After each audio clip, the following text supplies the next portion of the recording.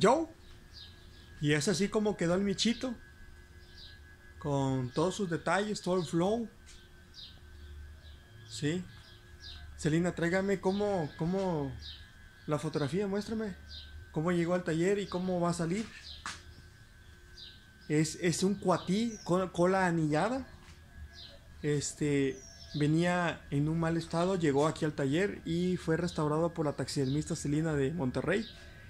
Y ahorita le vamos a mostrar este cómo le voy a mostrar una foto de cómo llegó al taller, cómo vino aquí al taller, el cliente lo trajo para ser restaurado y ahorita les voy a mostrar este final y cómo llegó.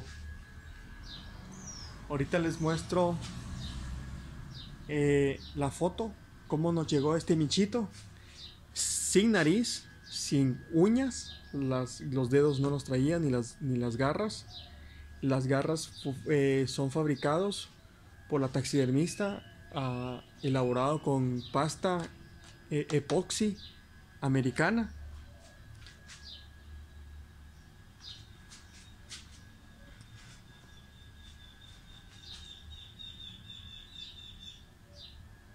Ahorita buscando, Celina, Aquí está. la fotografía, cómo llegó.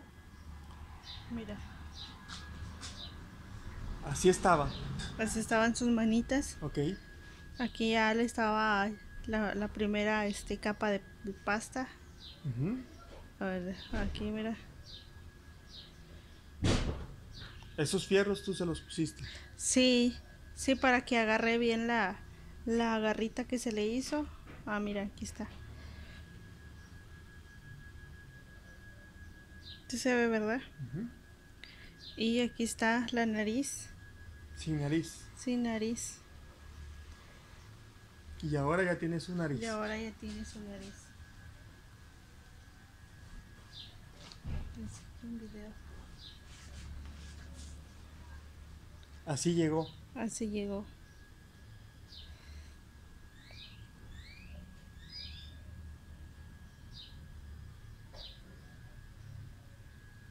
Tal y como lo están viendo en el video, así nos llegó. Así llegó hasta aquí el taller, así nos los trajo un cliente. Y dijo, yo quiero restaurarlo. Y así es como ya luce este bonito cuatí que tiene aproximadamente más de 70 años de estar disecado. Saludos. ¿Algunas palabras, Elínica? Pues ya aquí esperando a la entrega y mostrándole el trabajo de restauración que se realiza aquí. Si tú tienes una pieza de muchos años y requiere una restauración, se puede hacer el trabajo. Como en este caso, no traía sus garritas, no traía su nariz, el color ya estaba muy opaco, este se le dio un baño al, pelo para que no estuviera tan sucio y entonces este la base también se cambió y pues así está quedando, así quedó ya. Así quedó ya.